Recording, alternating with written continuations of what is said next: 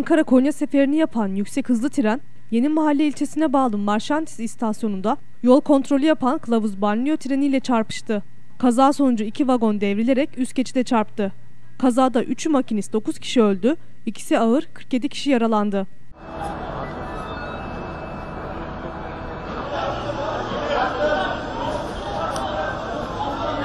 ...6.30 seferini yapan yüksek hızlı tren... ...kılavuz lokomotif treniyle çarpışması sonucu raylardan çıkarak üst geçide çarptı. Kazada iki vagon devrilirken üst geçitte trenin üzerine çöktü. Kazada yaralanan çok sayıda yolcuya 112 acil servis, itfaiye ve UMKE ekiplerince müdahalede bulunuldu. Yaralılar tren enkazından çıkarılarak hastanelere sevk edildi. Kaza sonucu 3'ü makinist 9 kişinin öldüğü, ikisi ağır olmak üzere 47 kişinin de yaralandığı bildirildi.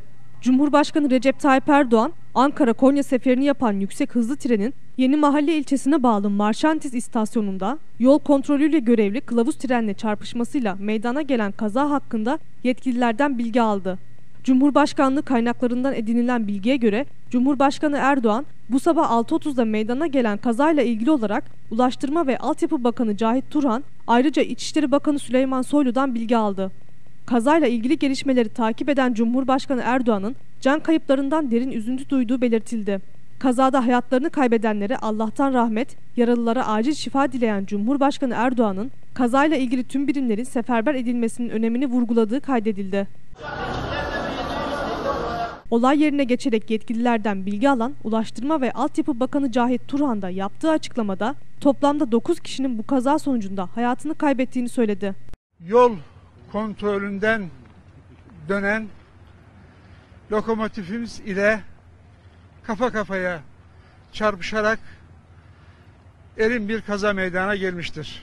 Kaza yerinde saat 10 itibariyle yapılan tespitlerde